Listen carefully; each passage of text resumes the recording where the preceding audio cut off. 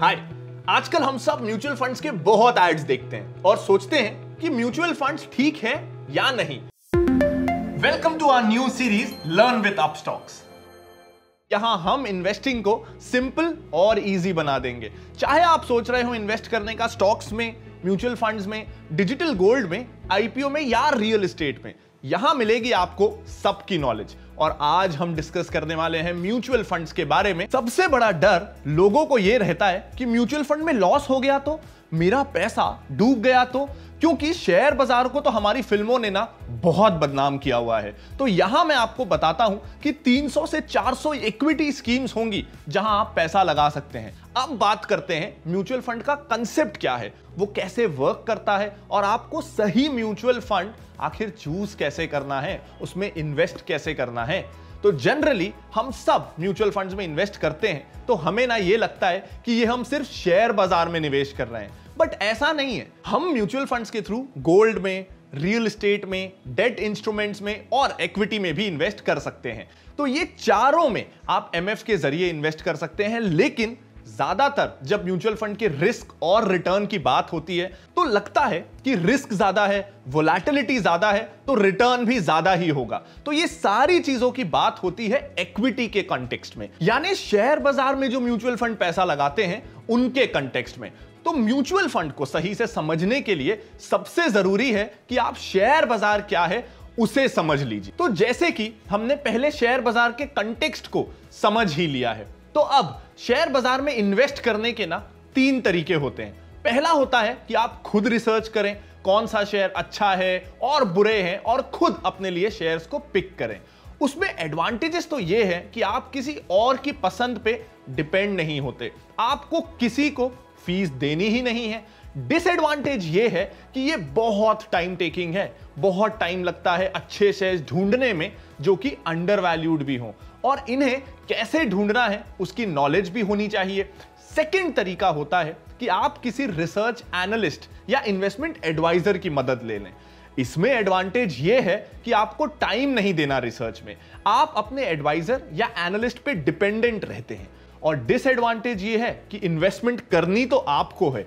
एक एडवाइजर आपको सिर्फ़ बता सकता है कि आपको यहाँ यहाँ इन्वेस्ट करना है और उसके बदले में वो आपसे एक फ़ी लेगा।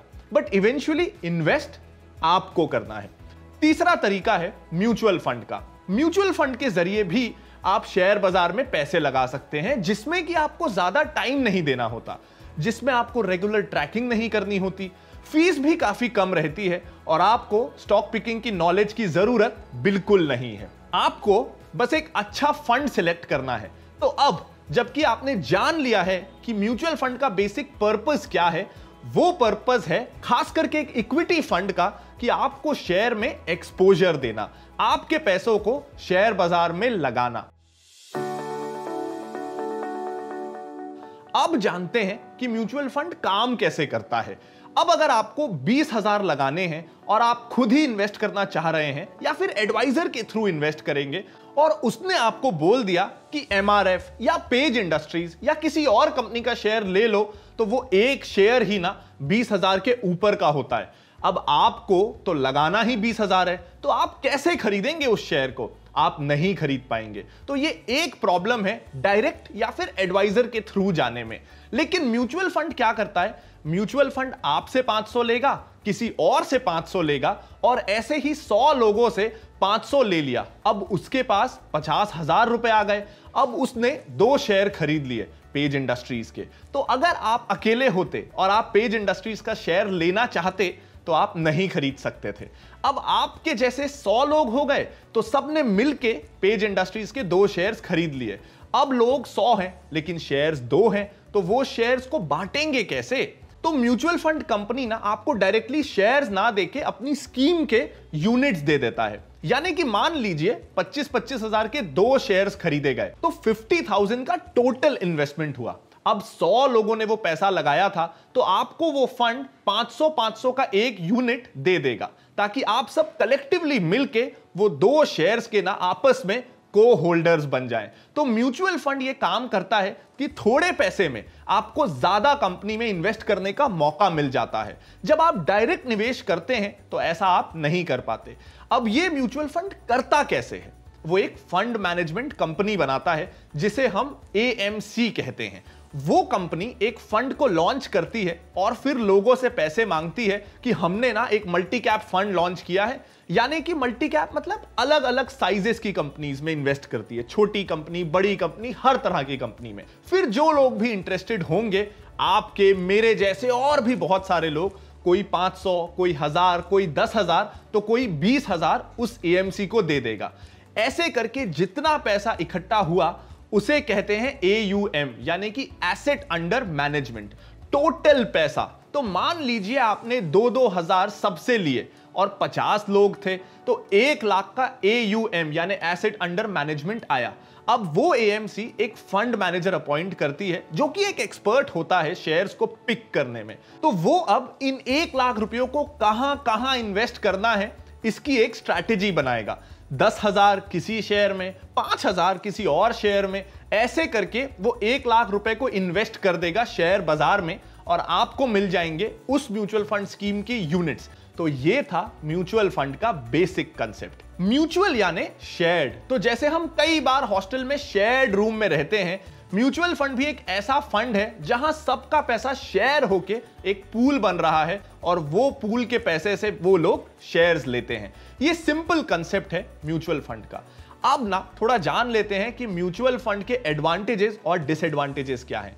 पहला एडवांटेज है थोड़े पैसे में ज़्यादा डाइवर्सिफिकेशन अगर आप दो चार हज़ार रुपए लगाना चाह रहे हैं तो आप ज़्यादा शेयर्स नहीं खरीद पाएँगे। लेकिन म्यूचुअल फंड में क्योंकि सबका पैसा पूल होता है और फिर वो बहुत सारी कंपनियों में लग रहा है तो आपको दो हज़ार में भी हो सकता है पचास कंपनियों में आपका पैसा डिवाइड हो जाए, जो डायरेक्टली आप कभी लगा नहीं पाते। तो थोड़े पैसे में ज़्यादा कंपनीज़ में एक्सपोजर मिलता है, ज़्यादा डाइवर्सिफिकेशन मिलता है। सेकेंड इसका एडवांटेज है कि एक एक्सपर्ट है जो आपके पैसे को मैनेज कर रहा है। अगर आप खुद अपने दो हज़ार रुपए किसी एक एक्सपर्ट को बोलेंगे कि मेरे लिए लगा दो तो वो एक्सपर्ट बोलेगा कि आपके पास सिर्फ़ दो हज़ार है। दो हज़ार से ज़्यादा तो मेरी फ़ीस ही है, मैं उससे ज़्यादा रुपए तो खुद ही ले लेता हूँ। ऐसे में आपको एडवाइस कैसे दूँ? लेकिन म्यूचुअल फंड में आपके जैसे हज़ार लोग मिलके उसकी फ़ीस दे रहे हैं, वो भी बहुत सस्ते दाम पे। तो आपको फंड मैनेजर का एक्सपर्टीज मिल जाता है और फंड मैनेजमेंट के एक्सपर्टीज के चार्ज को कहा जाता है एक्सपेंस रेशो यानी कि होता यह है कि अगर आप म्यूचुअल फंड में 100 लगा रहे हैं तो उस सौ रुपए में से रफली ये हर स्कीम पे डिपेंड करता है, लेकिन रफली 98 या 99 रुपीस ही आपकी उस स्कीम में लगता है और एक या दो रुपए के बीच कंपनी रख लेती है। उसे कहते हैं एक्सपेंस रेशो तो ये एक्सपेंस रेशो जितना कम होगा, उतना आपके लिए अच्छा है। तीसरा एडवांटेज हो गया कि आपने एक बार पैसा लगा दिया, फिर वो म्यूचुअल फंड उस पैसे से शेयर्स खरीदता, बेचता, अपने आप करता रहेगा। आपको बार बार ट्रांजैक्शन की ज़रूरत नहीं पड़ती। तो आप अपनी ज़िंदगी आराम से जी सकते हैं। बिना ये चिंता किए कि कौन सा शेयर बाय करना है, कौन सा सेल करना है। फोर्थ एडवांटेज आपने एसआईपी के बारे में सुना होगा। एक बार बैंक में मैंडेट सेट कर दीजिए कि आपने अकाउंट से हर मंथ हज़ार रुपए, दो हज़ार रुपए या पाँच हज़ार। आप जितना चाहें, उतना कट होते रहे और स्कीम में आगे लगते रहे। तो हर मंथ भी आपको मैनुअली कुछ नहीं करना है। एस आपने डाल दिया, सैलरी में आप जितना बचाते हैं, उसे इन्वेस्ट अपने आप करते रहिए। ऑटोमेटिक आपके बैंक से कट हो जाएगा। आप जब चाहें एस रोक सकते हैं, जब चाहें उसे बढ़ा सकते हैं, कम कर सकते हैं, ये सबका ना कोई चार्ज नहीं लगता है, बिल्कुल फ्लेक्सिबल है। एक्टिव फंड्स अच्छे हैं। नहीं नहीं, इंडेक्स फंड्स अच्छे हैं। एक्टिव फंड्स या इंडेक्स फंड्स? आखिर कौन से फंड्स अच्छे हैं? सच तो यह है कि आपको आज तक किसी ने पूरी बात बताई ही नहीं। कुछ ने आधी जानकारी के साथ बोल दिया कि एक्टिव फंड्स बेटर हैं, जबकि ऐसा बिल्कुल नहीं है। आखिर वो क्या ऐसी चीज़ है जो मुझे इंडेक्स फंड्स के बारे में नहीं पसंद? और उसके बाद इस वीडियो की एंड की ओर बढ़ते हुए कि एक्टिव फंड्स में भी सब कुछ अच्छा नहीं होता। प्रॉब्लम तो एक्टिव फंड्स में भी है। और कैसे आप सही फंड आपके लिए सिलेक्ट कर सकते हैं। इस वीडियो के एंड तक आप खुद सही फंड सिलेक्ट कर पाएँगे।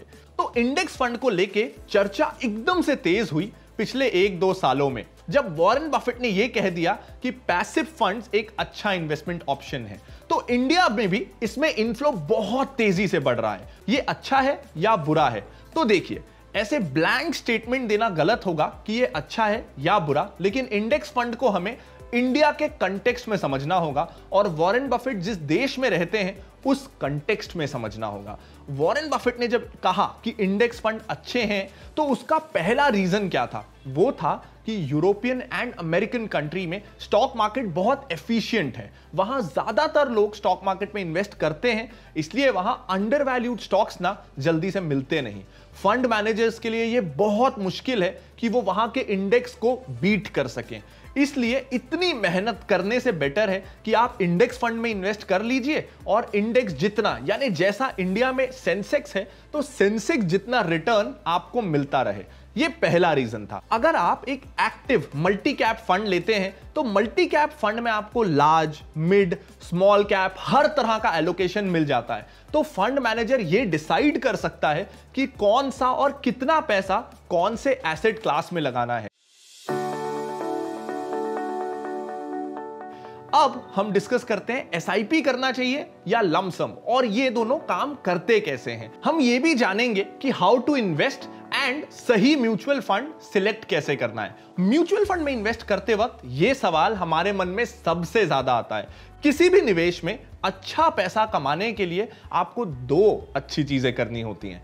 पहला, सही जगह निवेश करना होता है और दूसरा, सही वक्त पे निवेश करना होता है। सही जगह निवेश करने की प्रॉब्लम तो म्यूचुअल फंड में इन्वेस्ट करके सॉल्व अपने आप हो जाती है। अब बात आती है कि सही टाइम पे इन्वेस्ट करने की, क्योंकि म्यूचुअल फंड ये डिसाइड नहीं करता है कि आपको कब इन्वेस्ट करना है। उन्हें तो आपके पैसे चाहिए होते हैं बट ये डिसीज़न आपका होता है कि आपको कब इन्वेस्ट करना है। हर टाइम मार्केट में एंटर होने का सही टाइम तो नहीं होता। लमसम इन्वेस्ट करने में मार्केट टाइमिंग का बहुत बड़ा रोल होता है। अगर गलत टाइम पे इन्वेस्ट कर लिया तो रिटर्न कम हो सकता है। अगर अच्छे टाइम पे इन्वेस्ट कर लिया तो रिटर्न बहुत अच्छा भी हो सकता है। लेकिन कोई भी मार्केट को सही टाइम पे जज नहीं कर पाता। कोई ये प्रिसाइसली नहीं कह सकता कि कहाँ से मार्केट ऊपर जाएगा और कहाँ से नीचे। ये प्रिडिक्ट करना ना बहुत बहुत मुश्किल है। कब पैसा लगाएँ, इस सवाल का जवाब सही सही कोई नहीं दे सकता। तो क्यों ना यह सवाल को हटा ही दिया जाए। कैसे? एसआईपी के थ्रू एसआईपी का यही बेनिफिट है कि आप हर मंथ फिक्स्ड अमाउंट इन्वेस्ट करते हैं। तो मार्केट ऊपर हो या नीचे, उससे फ़र्क नहीं पड़ता। क्योंकि हर मंथ पैसे लगते हैं तो वो बैलेंस आउट हो जाता है। मार्केट के अप्स एंड डाउन्स की चिंता करने की ज़रूरत ही नहीं पड़ती। Thank you for watching this video on basics of mutual funds from Learn with Upstock series. उम्मीद करता हूँ कि ये वीडियो आपको पसंद आया होगा। अगर हाँ तो इसे लाइक ज़रूर कर दीजिएगा और दोस्तों और फैमिली मेंबर्स के साथ शेयर करना बिल्कुल मत भूलिएगा। और हर एक नए वीडियो की नोटिफिकेशन और अपस्टॉक्स की लेटेस्ट अपडेट्स के लिए आप इस चैनल को सब्सक्राइब ज़रूर कर लीजिएगा।